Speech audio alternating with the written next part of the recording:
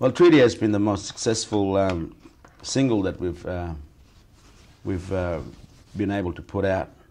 Uh, the, the, song itself reflects on a prime minister who um, said in 1988 made a statement at uh, Barunga in, in, the middle of Arnhem Land, uh, saying that there shall be a treaty between Aboriginal Australia and White Australia, and, and everyone said, "Yeah, yeah, yeah, let's go for it." And, uh, the uh, the next few years, well, the, the following year, um, everyone thought that uh, it was going to happen, like you know, like the process was processes of negotiation or whatever was gonna was gonna occur, and it didn't. So uh, one day I was um, I invited Paul Kelly to come up to Brand Branch Homeland Centre, and there we started to. I just started to float the idea to him, and I asked him for for help in you know writing a story about or writing a song about treaty, and um, anyway we, we started writing the song and um,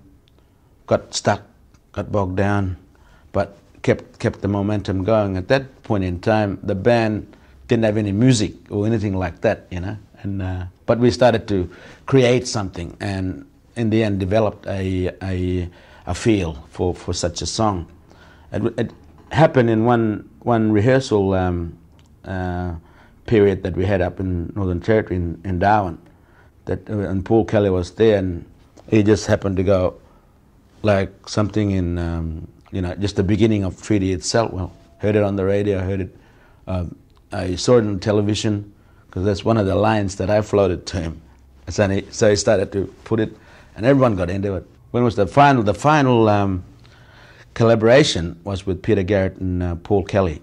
Um, after we did it, we went uh, went through many of the rearrangements of the lyrics itself, you know, and the delivery and all that. But but uh, and that's the final product was that in the end, you know.